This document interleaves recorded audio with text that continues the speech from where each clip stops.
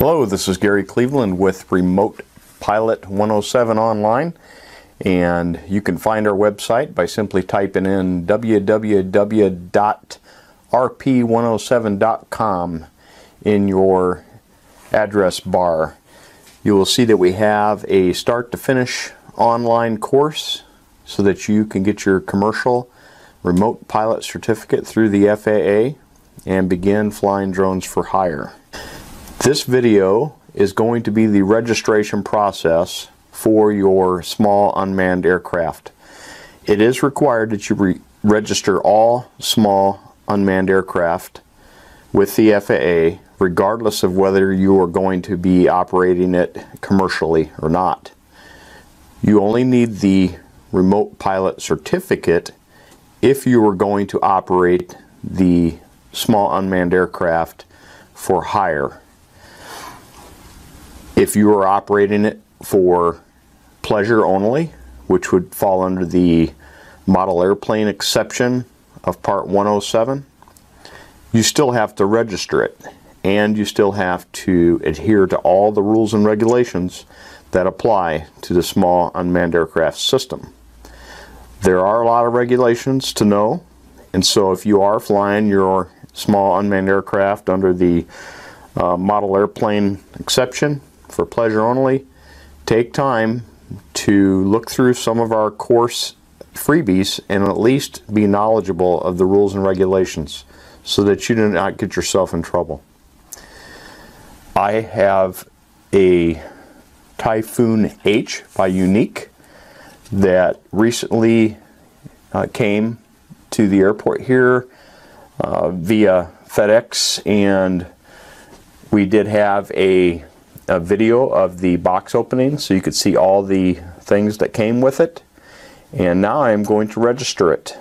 What I'll do is just walk right through the process with you, having my screen shared so that you can see exactly uh, what I have to go through to get it registered. Now note, in one of my previous videos we talked about uh, my pastor who brought his uh, Mavic Pro over to do some video work with us for the RP 107 course. And when he went to register his he cautioned me that there are some other uh, websites that are collecting $25 to register your small unmanned aircraft with the FAA when indeed the FAA only charges $5 when he texted me during this registration process. He said, I thought you said the uh, registration was only $5. And I said, yes, it is. And I had him check the address in his uh, browser, and it was not the uh, FAA.gov. It was a, third party, no doubt a legitimate registration host, uh, but it is not that complicated. So the $5 registration fee is plenty.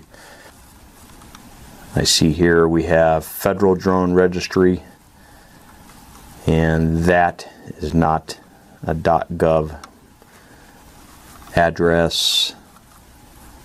Here's an here's a the one I want. Okay, notice here it's uh, register my us.faa.gov. So I know that's going to be a legitimate registration straight to the FAA, not going to charge me extra. Okay, and so here we have up in the uh, address bar, register my uas.faa.gov. I see that the uh, Federal Aviation Administration logo is here. I'm going to click on register.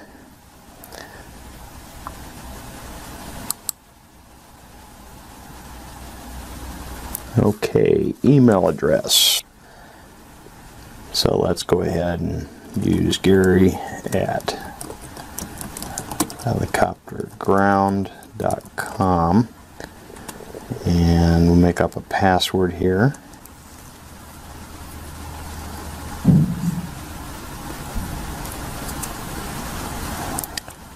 Okay, so they send a verification email. So now I need to open up a third browser here and I'll go to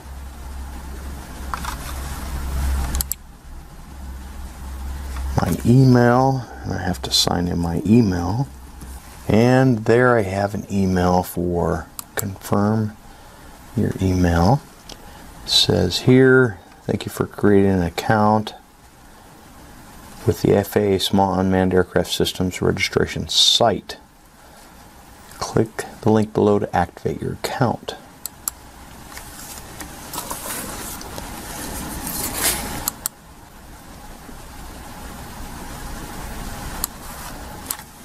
Okay, so there's your helicopter ground. Account type. Select the account type that best fits your unmanned aircraft system usage. Well, I'm not going to fly it as a model aircraft. Um, we're using it for training. So, we're going to go here. Gary. J. Cleveland Jr. Chief Pilot. Alternate email.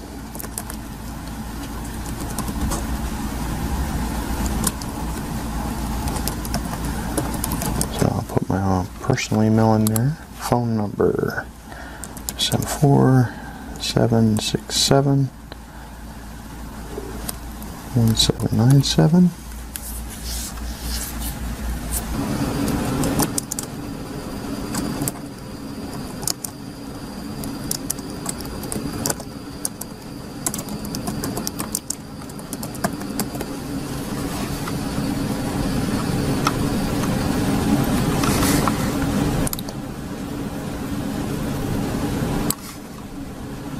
physical address. Okay.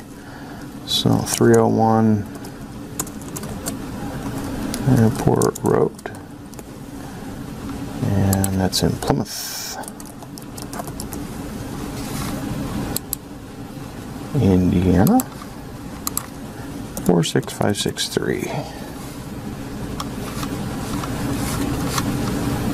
Click here if your mailing address is the same as your physical address. That works.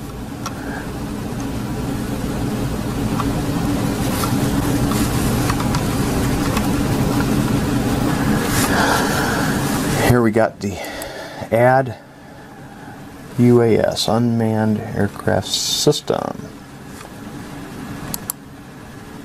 Purchased. Enter a nickname. It's required. Um,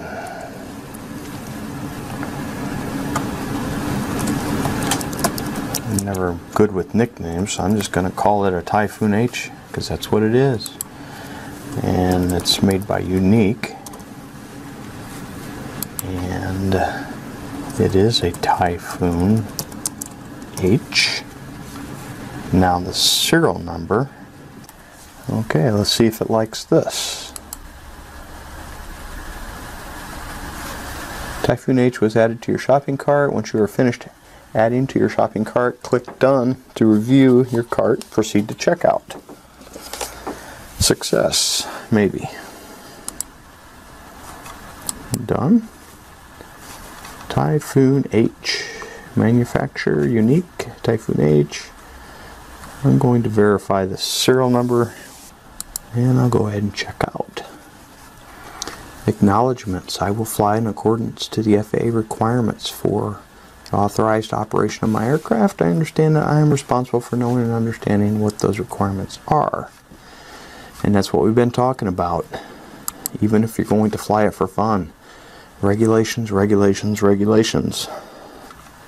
Don't want to get in trouble. Next. Okay, here we are. I'm reviewing everything here. It's looking like it's okay.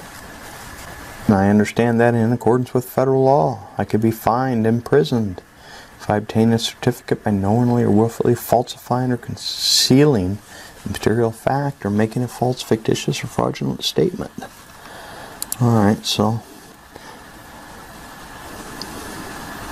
Congratulations, you have successfully registered your device. You must mark each aircraft with the assigned unique registration number before it is operated. The number must be visible without using tools. You may mark it inside the battery compartment if that is accessible. You may use any method of affix the number that ensures it remains visible, including permanent marker, label, or engraving.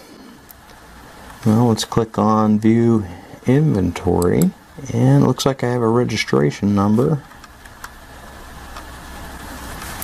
Typhoon H, Yuneec. Typhoon H.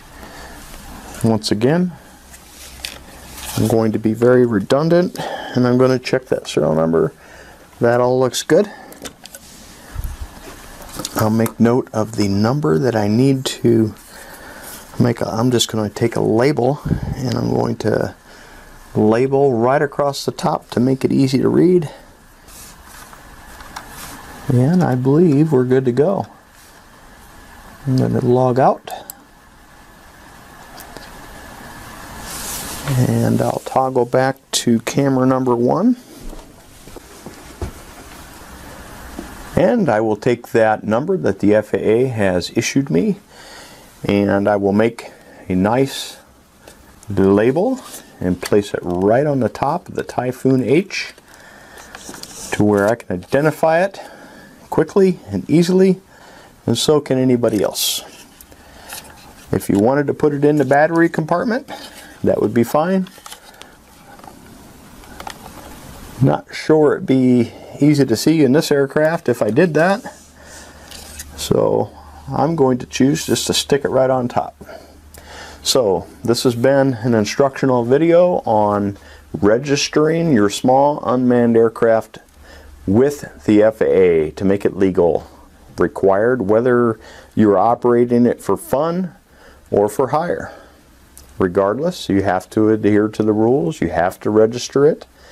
And remember to visit us at Remote Pilot Online or RP107. Simply type www.rp107.com in your browser and you will come right to our website. We have a start to finish video course that has everything you need to know if you want to get your commercial remote pilot license through the FAA, or if you just want to operate within the parameters of the law for fun. We'll see you in the next video. Thank you.